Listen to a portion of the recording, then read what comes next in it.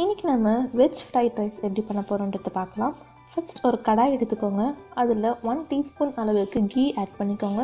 நீங்கள் கீக்கு பதிலாக ஆயில் கூட ஆட் பண்ணிக்கலாம். பட் கீ ஆட் பண்ணால் ஒரு நல்ல ஃப்ளேவர் கிடைக்கும்.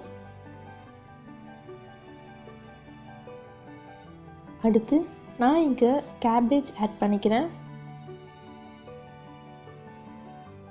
ஒரு கேரட்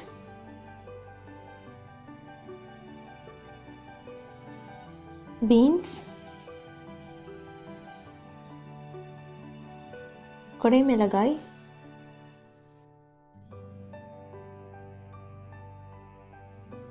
இது எல்லாமே அந்த கீயோட நல்லா மிக்ஸ் ஆகிற மாதிரி நல்லா மிக்ஸ் பண்ணி விட்டுக்கோங்க.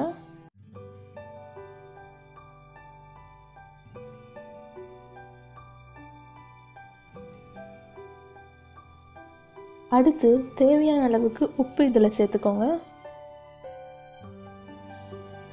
உப்பு சேர்த்துட்டு ஒரு ஒரு நிமிஷம் அளவுக்கு இதை நல்லா கொஞ்சம் வதக்கி விடுங்க. அடுத்து ஒரு அரை ஸ்பூன் அளவுக்கு பெப்பர் இதில் சேர்த்துடலாம்.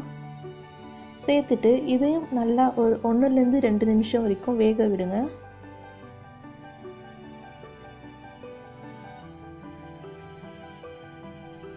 அடுத்து ஒன் டீஸ்பூன் அளவுக்கு சோயா சாஸ் ஆட் பண்ணிவிடுங்க அடுத்து ஒன் டீஸ்பூன் அளவுக்கு சில்லி சாஸ் ஆட் பண்ணுங்கள் இது எல்லாமே கொஞ்சம் நல்லா வதக்கி விடுங்க.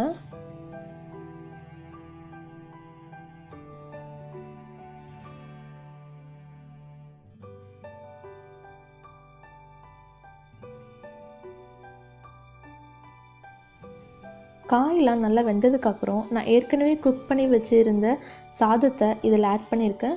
நீங்கள் நார்மல் சாதம் கூட ஆட் பண்ணிக்கலாம். இல்லைனா பாஸ்மதி அரிசி கூட ஆட் பண்ணிக்கலாம். அது ஏற்கனவே கொஞ்சம் நல்லா குக் பண்ணி வச்சுட்டு இப்போ இதில் ஆட் பண்ணிவிடுங்க சாதம் எல்லாம் சேர்த்ததுக்கப்புறம் ஜென்டிலாக மிக்ஸ் பண்ணுங்கள் இந்த மாதிரி நான் பண்ணுறேன்ல இந்த மாதிரி உதிரி உதிரியாக பண்ணி விடுங்க.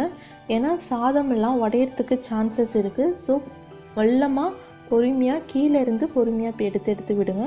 அவ்வளோதான் இந்த வீடியோ உங்களுக்கு பிடிச்சிருந்தா உங்கள் ஃப்ரெண்ட்ஸ் அண்ட் ஃபேமிலிக்கு ஷேர் பண்ணுங்கள் மறக்காமல் நம்ம சேனலில் சப்ஸ்கிரைப் பண்ணிக்கோங்க. தேங்க்யூ